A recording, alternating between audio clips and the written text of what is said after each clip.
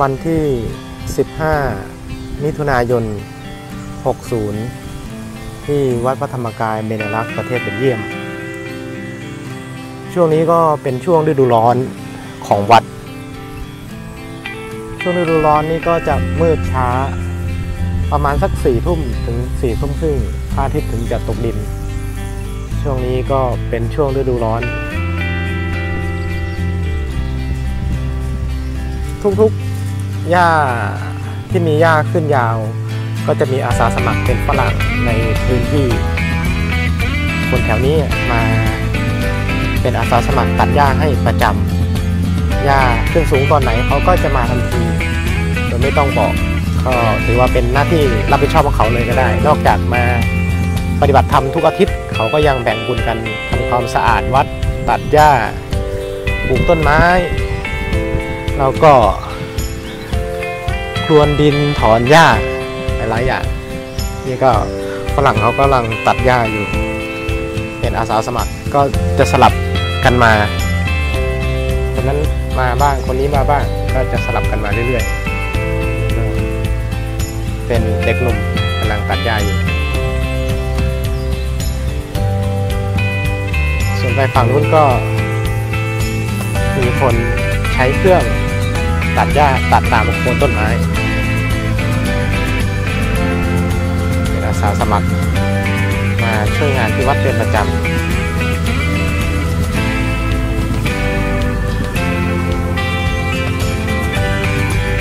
สำหรับวันนี้ที่ยุโรปเองก็ มีการใช้โทรศัพท์ โดยไม่ต้องใช้ลมมิ่งแล้ว ทุกประเทศในยุโรปสามารถโทรเข้าหากันได้ แล้วก็ทุกประเทศเลย เหมือนไม่เสียค่าใช้จ่าย คือไม่ต้องเสียค่าใช้จ่ายระหว่างประเทศ แต่ก่อนเราไปสมมติว่าเราใช้ซิมเบนเยียม เราไปเที่ยวอิตาลีเพื่อนจากเบนเยียมโทรไป ถ้าเรารับสายเราก็ต้องเสียค่าโทรศัพท์นั่นเอง แต่เดี๋ยวนี้ไม่ต้องโทรศัพท์ทุกประเทศเลยในยุโรปสามารถโทรเข้าหากันได้ แล้วก็ใช้อินเทอร์เน็ตร่วมกันได้ ถือว่าเป็นวันที่ดีมากก็ฝรั่งก็ทำการตัดหญ้าที่โคนต้นไม้ที่ต่างๆ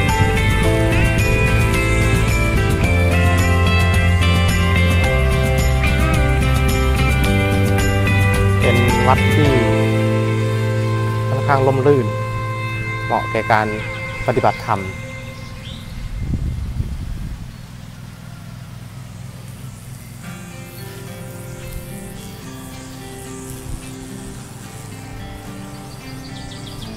บรรยากาศดี ก็ฝรั่งแถวนี้ก็ชชอบพัฒนาวัด ชอบมาช่วยกันพัฒนาวัด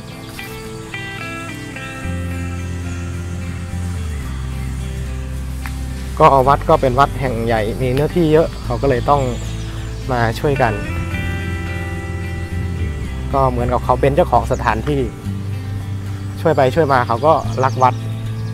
แล้วก็รักสถานที่แห่งนี้ ดอกไม้ ตรงพื้นที่เป็นเก็ดของต้นไม้ฝรั่งเขาก็เอามาใส่ใส่แล้วก็นุ่นก็หลวงพี่ท่านก็หลวงพี่โรเบนชาวท้องถิ่นท่านก็กำลังพาอาสาสมัครดู ว่าจะทำอะไรได้ที่วัด ปรับปรุงตรงไหนได้บ้าง ท่านก็พาเดินดูวัด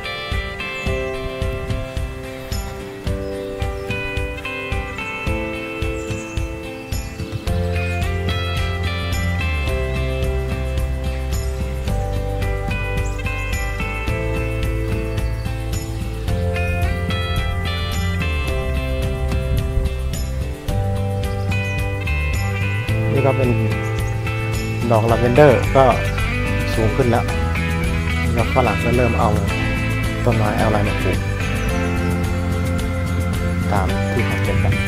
วน นี้เป็นช่วงฤดูร้อนได้มีโอกาสเดินทางไปวัดต่างๆ ทางวัดก็จะซ่อมแซมแล้วก็ทาสีวัดกัน โดยส่วนมาก เพราะว่าฤดูหนาวนี้ ยาวนานตั้ง 6-7 เดือน พอช่วงฤดูหนาวหิมะก็ตก อากาศก็หนาว ความชื้นก็เยอะ ก็ความชื้นก็จะเข้าไปในสีที่แตก สีที่แตกๆแล้วก็